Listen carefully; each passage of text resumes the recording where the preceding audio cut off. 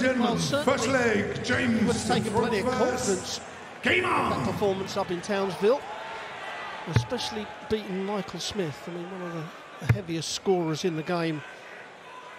And he will, like Sixteen. you said, Stuart, he will fancy his chances against James. James has not really been on top form out here and uh, probably missing home a little bit. So Gordon Mathers needs to get a good start. I know we, we keep emphasising it, but it is so essential.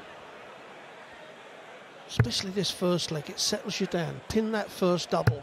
Just settles the nerves down a little bit.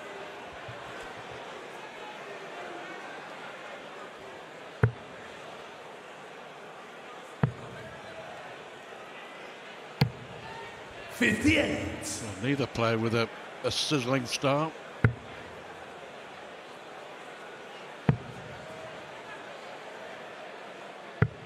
Fifty-seven. Still haven't seen a big treble.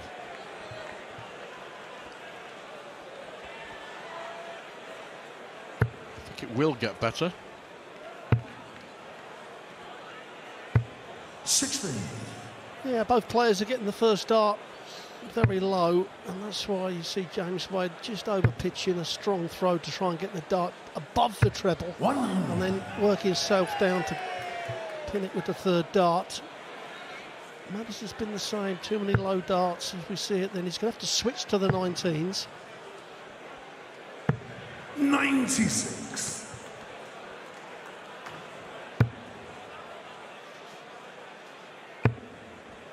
Well, big crowds in Wollongong this weekend. One.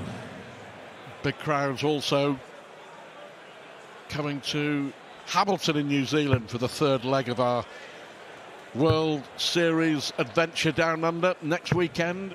One runner. There are some tickets still available. 146. But Mathers here putting pressure on Wade in the opening leg. Well, that 140 certainly give him a chance. Now, will he go bullseye 25 or two 20s to guarantee the third dart at the bullseye?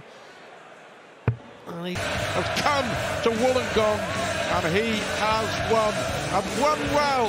James Wade, a 6-3 winner over the Aussie